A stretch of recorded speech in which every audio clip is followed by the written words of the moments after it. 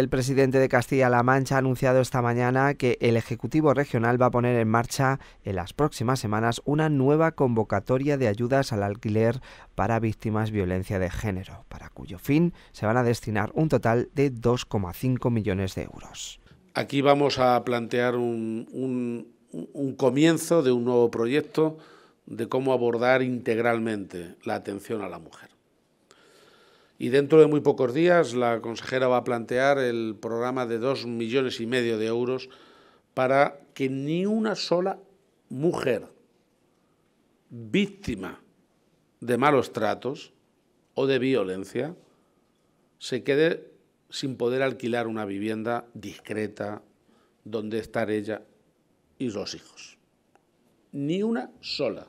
También ha avanzado que en abril se abre en el Hospital de Cuenca el nuevo servicio de radiofísica que va a permitir iniciar la obra de radioterapia para el cáncer con una inversión en tecnología y obra cercana a los 7 millones de euros. La semana que viene vamos a aprobar el gasto para toda la inversión que requiere el servicio de radioterapia. De manera que absolutamente todas las provincias de la comunidad autónoma van a tener servicio de radioterapia que es esencial para el tratamiento delicado, sensible de las personas que están afectadas por algún problema de cáncer. Y hoy se cumple el cuarto aniversario de la sentencia en la que el Tribunal Supremo anuló el plan hidrológico del Tajo por no fijar los caudales ecológicos. Nuestras posiciones significan muchas cosas. Hoy, por ejemplo, se cumplen cuatro años, cuatro años se cumplen hoy, de la primera sentencia que ganamos en Castilla-La Mancha contra la legislación de desecación del Tajo, o mejor dicho, de nuestro agua. Repito, de desecación. Hubo una legislación dolorosísima, dolorosísima, pactada por Castilla-La Mancha, evidentemente yo no era el presidente, pactada por Castilla-La Mancha con el Estado, que en realidad es para conseguir que algunos le pongan un montón de, no sé cómo no tienen todavía estatuas y esculturas en Murcia, en todos los sitios, en cada rotonda. Pero que lo único que hacía era plantear un escenario de desecación, de desecación. Si ya la comisión del trasvase, que en muchos pueblos de Cuenca ven pasar el agua sin poderla utilizar, si ya la comisión del trasvase está bien llamada, es Comisión de Explotación. es un nombre perfecto, perfecto. Pues aquí lo que hacían ya no era explotación, era ya casi de violación, sinceramente. Dramático.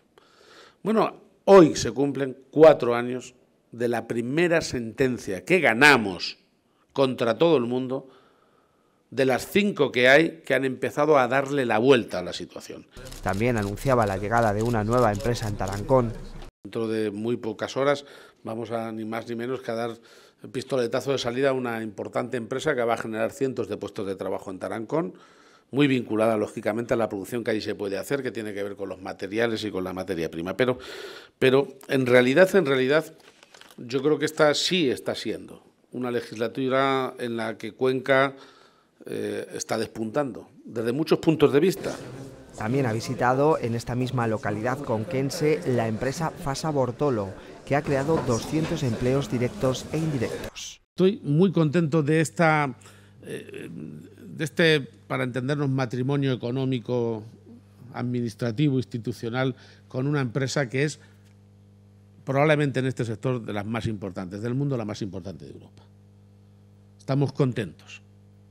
Es una inversión que va a dejar un valor añadido en Tarancón, en la comarca, del entorno de 200 puestos de trabajo en la primera parte, entre directos, sobre todo directos, pero también indirectos, pero que va a generar sobre todo una capacidad de atracción. Llegará un momento a la vuelta de 10 años que algunas empresas cuando se planteen dónde colocarse dirán, bueno, nosotros vamos a Tarancón porque ya está, ya está FASA. Tiene importancia, sobre las nuevas empresas que se instalan en nuestra región, Paje ha recordado que de las 113 empresas nuevas instaladas en 2022 y lo que llevamos de 2023, más del 70% son con capital extranjero. La provincia y la comunidad autónoma están en un momento de ebullición económica. Parece mentira. en este último año 2022 y lo que llevamos ahora y lo que tenemos planteado, estamos hablando del entorno de 113 nuevas empresas, de las cuales más del 70% son con capital extranjero. Si me permitís, mm, poco extranjero porque somos ya europeos, pero la mayoría de capital europeo. Pero también americano y, y hispanoamericano.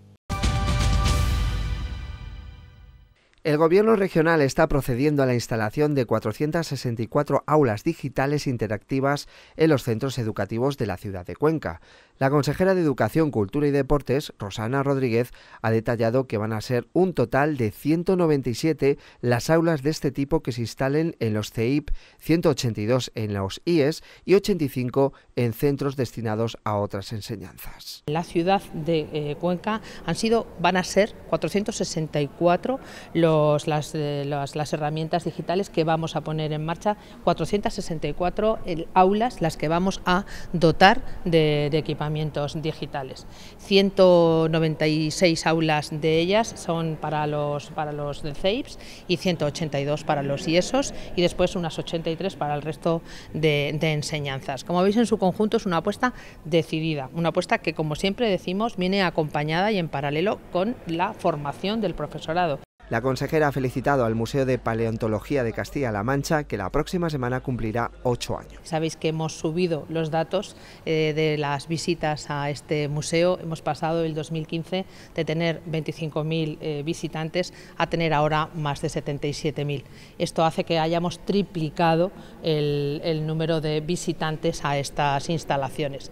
¿Significa algo? Yo creo que significa la potencia, la relevancia que tiene un museo muy muy especial, muy diferente al conjunto de toda la red museística que tenemos en, en Castilla-La Mancha. Hoy se inauguraban las nuevas instalaciones del Colegio La Paz. Rosana Rodríguez ha dicho que se cumple con una demanda de la comunidad educativa. Las obras han supuesto una inversión superior a los 1,7 millones de euros. 25 pactos y acuerdos con la patronal y los sindicatos de clase se han firmado desde que Paje es presidente de Castilla-La Mancha. Yo desde que soy presidente, y no son tantos años, ¿eh? he firmado 25 pactos con sindicatos empresarios. 25, ¿eh? Y de un importantísimo calado, ¿eh? no son humo, como algunos pueden pensar. Tienen importancia, tienen trascendencia y nos lo creemos, con mayoría o sin ella. La realidad es que es lo que importa, llegar todos juntos a la meta. Así lo destacaba en su intervención en el marco del 30 aniversario de UGT en Castilla-La Mancha, cuya conmemoración ha tenido lugar en el Teatro Rojas. El presidente de Castilla-La Mancha agradecía a UGT y a comisiones obreras, así como a la patronal regional, su trabajo por el desarrollo de Castilla-La Mancha. Hay gente que nace a la política, sabe que no va a gobernar nunca y por tanto se permite no tener ninguna responsabilidad ni ser responsables. Hay de todo en la vida. Y en el mundo de la representación sectorial, sindical o empresarial, pues también. Hay gente que, que, que, se puede permitir decir cualquier cosa porque sabe que finalmente, a la hora de la verdad, la ciudadanía en su conjunto, a quien le exige estar al nivel, son a los que representan al colectivo en su, a, a, a la sociedad. Ha lanzado la propuesta de que la ciudad de Toledo sea el lugar elegido para la rúbrica definitiva del acuerdo de las pensiones. El pacto se hizo fundamentalmente porque había un serio riesgo de que muchas formaciones, desde luego no, no la que represento. Eh, quisieran imponer el modelo de capitalización. Y por tanto, lo, lo, relevante de ayer es que el modelo es el mismo, el de distribución, el que tenemos, en el de que unos nos hacemos responsables unas generaciones con otras y compensamos y redistribuimos porque el otro, el de capitalización, era el que algunos en aquel entonces ya llevaban en los programas electorales. Y el que, obviamente, si las cosas se torcieran en España, algunos querrán plantear